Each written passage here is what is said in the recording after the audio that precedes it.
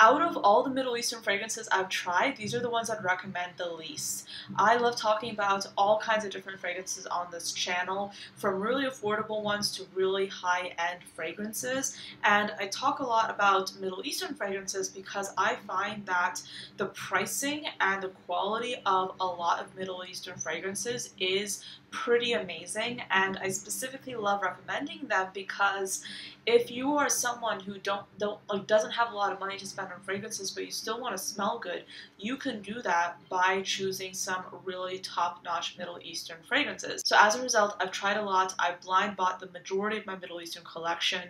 So I have managed to smell a lot and accumulate fragrances and thus have a very discerning nose when it comes to the ones I'd recommend more versus less. And a lot of these fragrances I have recommended in the past, but now I wouldn't recommend them as much or I'd recommend them the least. And I'm going to be very clear with you about which fragrances I think would be would be better suited towards what kind of person. I am first going to start out with this one right here. This is Velvet Oud by Lattafa. This is a very intense leather fragrance. I believe there's also labdanum here, but the reason why I recommended it the least is because the leather here is very animalic. It smells almost synthetic. It's kind of like a um, leather armchair. That's what I get whenever I smell this. It's not the best leather I've ever smelled. I don't think it's the greatest. It's very traditionally masculine, but there's something about this fragrance. Like there's there's a sweetness to it that kind of makes me feel like a little bit nostalgic. I do find myself drawn to it, which is why I haven't discontinued it or not discontinued it. I haven't decluttered it yet because I like smelling it. I don't know if I'd wear it because it's a very strong fragrance and there's it has presence to it but like it's just not one that i prefer to wear but i do like smelling it. So if you're interested in that kind of leather if you're okay with it this might be one to try but this is not the top leather i'd recommend. I think there are a lot better leathers out there so this is definitely not one of them in my opinion if i had to be super discerning. Next up is yara Tous. now i recommended this quite a lot last year and i still think it's a pretty scent but to me right now, it's very soapy. It's very soapy, almost shampoo-like. That's not a scent profile I prefer right now, um, and that's why this is not a fragrance I'd recommend as much. There are other more affordable mangoes, or there are other affordable mangoes that I think are just as good, if not better. Um, this to me smells like almost like a, almost green mango, but very soapy and shampooy. So it's nice. There's there's definitely nothing wrong with this scent. It's just not a scent profile I choose anymore as or as much as I did last year. It's just not a fragrance I've worn in a long time because I'm just not interested in like soapy fragrances at the moment. Um, it's not my favorite mango. I think there are better ones out there, but if you're into soapy fragrances, this might be one to try. This next one is interesting because the reason why I don't like it is because of other people's experiences whenever, whenever I've sprayed this on. And let me explain. So this is Al Haramain's Amber Oud Gold Edition. This is a super fruity oud fragrance. It's very strong. This is beast mode. It's strong. I wore three, five sprays of this when I was um, working retail when I first got this fragrance, and people really hated it. People just were getting reactions. They were not they were not pleased. It was just it was just an awkward situation. By the way, there's also a really strong patchouli in here, which I do think contributes to the everlasting beast mode powder that this has. Um, this is a fragrance that yes, people had a very strong negative reaction to it. And to be honest, I don't want to be walking around and have people say that they they are getting a headache because of this fragrance, and that's why I haven't worn it really that much since. Um, but whenever I share this with other fragrance lovers, they tend to like it. Um, but this is a fragrance I'd recommend the least because you have to really like strong fragrances to appreciate this one because this is one of the strongest ones I've smelled. So it's great value. Um, it'll last you a long time. I have a two ounce bottle. I was considering getting a bigger one. I'm so glad I did not because this is strong. Um, but yeah, I haven't worn it that much since. It's not one, the one I'd recommend the most. So there you go. Um, another one that I'm just not a fan of is also by Al Haramain. This is L'Aventure Parfum. This is one that, to be honest with you, I love the smell of this. I love the smell of the juice. This is kind of like it's like Dole, like canned Dole pineapples. That's what I get whenever I smell this. It also has, I think, a green apple note, which I really like. It's just like a fun, fruity punch kind of scent. I like it a lot. The thing that I don't like about this fragrance is the packaging. It just looks like bad. It looks very cheap, in my opinion. Um, it's just not my favorite. And I just, the experience that I have whenever I wear this is not necessarily the most positive one because of the bottle. It just literally it's literally plastic and I'm not I'm not a fan of that whatsoever. There are other Middle Eastern packagings that I like more. Their bottle designs are genuinely like nicer and um, this is like I think I bought it for $45 and that makes it I mean, there are some perfumes out there that are Middle Eastern perfumes that are $20 and have better bottles than this. This is literally plastic, and because of that, I don't wear this a lot because I just don't have a positive experience whenever I'm using this. So yes, I'd recommend it the least because of the packaging, but the juice I really do love. Next up is one that I kind of feel a little bit odd about putting in this video, but I'm going to give you my disclaimer as to why it's in here. This is Oud Mood by Lattafa, and whenever I smell it, to be honest, it smells like Christmas time. It's an oud patchouli rose scent, um, like your oud rose combo with pimento, um, caramel, cinnamon. It's a beautiful fragrance. It does smell like Christmas to me. The bottle's lovely. The cap's nice and weighted. This will cost you around $20. Um, I do wish I had gotten the smaller size because this is a bit of a stronger fragrance. And to my nose, sometimes the cinnamon here is a bit scratchy. But I do like the way this smells. But whenever I wear this, I don't overspray it. I literally just do like one or two sprays and that's it for me.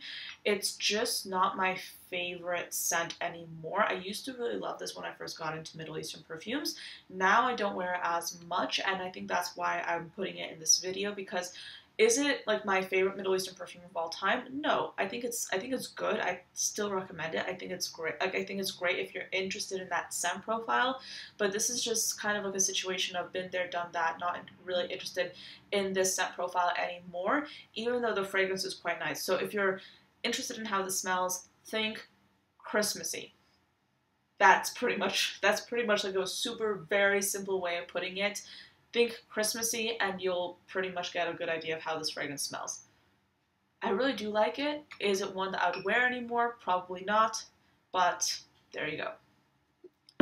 This next one, I feel guilty about putting it in here because I still get comments about people saying how much they really are happy that I recommended this to them because they really, really love it and I'm putting it in this video because to be honest, me right now, because I've been making fragrance videos for like I think two two years um, on TikTok and on here. And when I first started making fragrance videos, I was talking about this perfume a lot.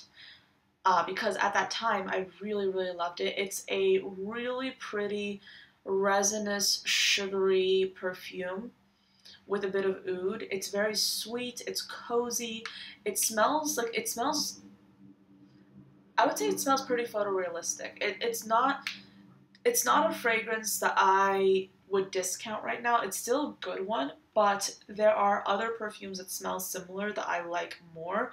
For example, I mean, I've introduced myself to Une Nuit Nomade, which has sugar leather, which is a bottle I have in my collection, and that kind of has like a similar sugary, caramelized gourmand scent with leather, but that one is just done in a very smooth, like a much smoother way and yes, that is a fragrance that is a hundred plus dollars.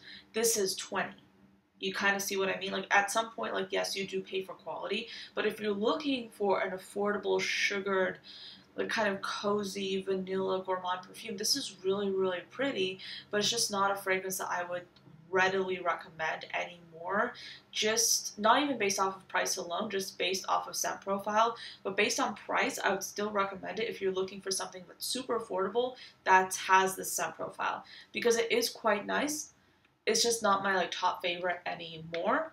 and that's just me being honest about taste changing. I do think it's important to do that, especially um, as we start like smelling even more things and refining our taste.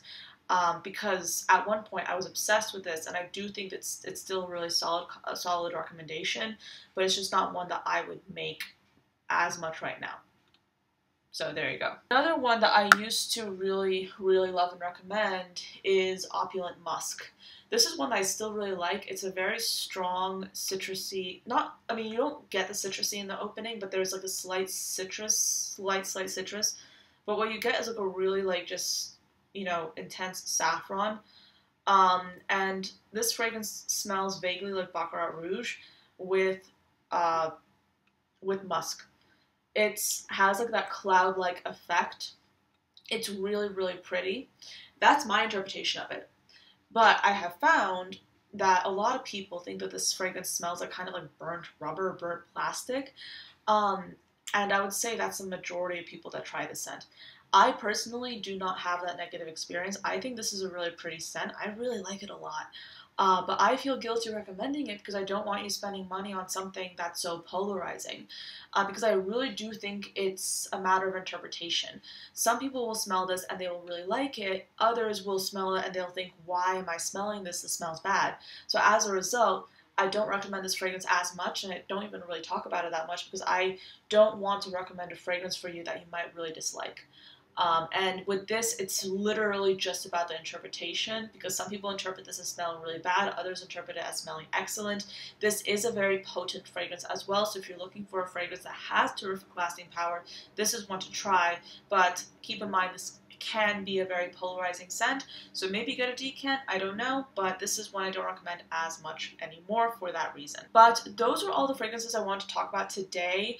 I think this is just a testament of how tastes can change once we smell more and more things and experiment with more fragrances and simply just change the fragrances we wear on a regular basis a lot of these scents make me feel really nostalgic because I remember when I was first getting into perfumes, just loving these fragrances. But what I like about Middle Eastern perfumes in particular is how accessible they are because I was wearing these fragrances when I was working retail, and realistically, it's like it's not the best idea to have a large fragrance collection when you're working part time in a retail position. I mean, let's be honest, you know what I mean?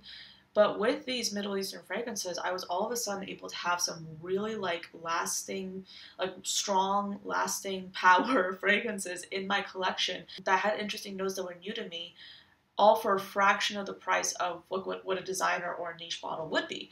And I think that's a wonderful thing, and that's why I continue making uh, videos like these about Middle Eastern perfumes because I think they're accessible, and that's the thing that we should be talking about more in the fragrance space. And we're doing that, and I think that's lovely. But the main reason why I talk about Middle Eastern perfumes, and I mean, I talk about, I try to talk about like all different kinds, but I uh, really like talking about Middle Eastern perfumes because of how accessible they are.